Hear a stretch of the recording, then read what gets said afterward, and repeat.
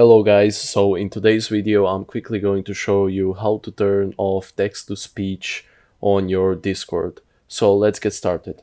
What you want to do is you want to go down to your user settings and you want to scroll down on app settings you should find accessibility.